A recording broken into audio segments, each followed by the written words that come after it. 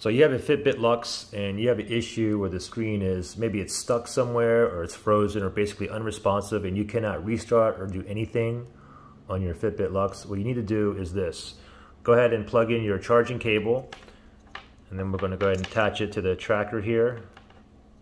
Make sure the uh, gold pin to the gold pin here. So I'm gonna put it in just like this. Okay, so it's charging now. Now, if you look at the USB-A part here, there's a little round button right here. Now what you want to do is press it. One, two, three, and then let go. Okay, you don't want to press it one, two, three. Okay, just so just follow along. Ready? And it, what this is going to do is going to force it to restart. Okay, so ready? One, just vibrate it. Two, just vibrate it. Three, just vibrate it. Now wait right here just like this. Just be patient.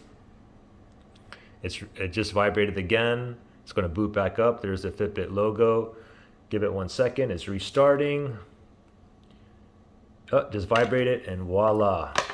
You just force it to restart and you guys should be back up and running. Okay, questions, issues, comment below.